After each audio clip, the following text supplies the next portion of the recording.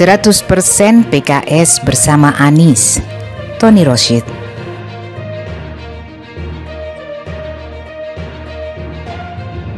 Banyak yang bertanya bagaimana analisis saya tentang sikap PKS pasca deklarasi Anies Caimin. Pertanyaan ini datang dari berbagai kalangan, mulai dari ulama, akademisi, aktivis, sampai orang biasa. Sebagian ada yang memprediksi PKS akan ikut poros baru bersama Demokrat dan P3. Malah ada yang kasih kabar dan ini katanya serius. PKS dirayu untuk gabung poros baru P3 Demokrat dengan kompensasi 6 hingga 10 miliar per kursi di DPR. Ini sangat wow, godaan ini masuk akal. Masalahnya bukan ada tidaknya godaan ke PKS. Dalam politik, godaan itu biasa. Masalahnya PKS mau atau tidak? Boleh jadi PKS butuh uang, jelang pileg pasti sangat butuh. Tapi PKS lebih butuh kemenangan.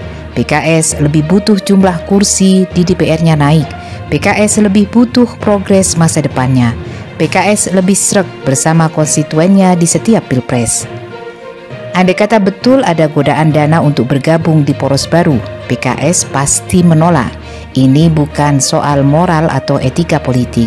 Ini juga bukan soal image, meskipun perlu mendapat perhatian kalau politik itu juga dipengaruhi oleh image, persepsi publik. Juga bukan karena PKS secara persen to persen dekat dengan Anies, sehingga harus tetap mendukung Anies. Karena dengan Sandiaga Uno pun, PKS secara persen to persen juga dekat. Ini lebih pada soal suara, ini soal kursi, ini soal masa depan partai.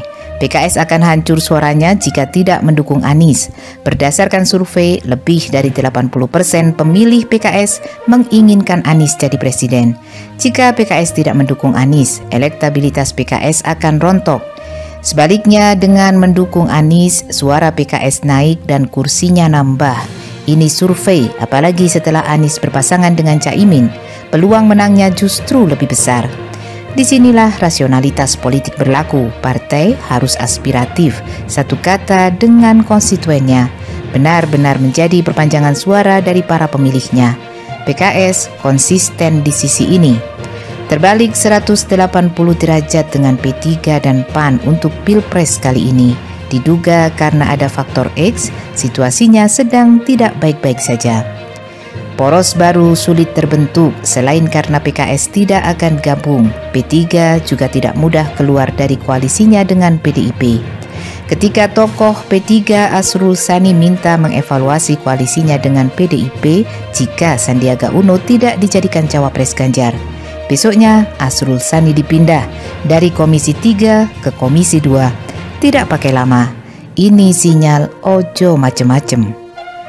Maka jawaban saya dari semua pertanyaan di atas, 100% PKS akan bersama koalisi perubahan untuk persatuan KPP selama Anies Baswedan maju di Pilpres 2024. Dipasangkannya Anies Caimin justru menguntungkan bagi PKS. Stigma negatif terhadap PKS seperti Islam fundamental, ekstrim kanan, intoleran, Wahabi dan semacamnya akan menjadi semakin samar ketika PKB menjadi partnernya di koalisi.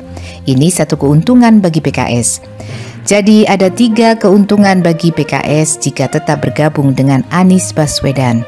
Pertama, kursi PKS di DPR besar kemungkinan akan naik. Kedua, Anies Caimin peluang menangnya lebih besar dari pasangan lain. 2024 mendatang, PKS tidak perlu lagi berpuasa sebagai oposisi. Ketiga, stigma-stigma negatif kanan terhadap PKS selama pemilu 2024 bisa diminimalis.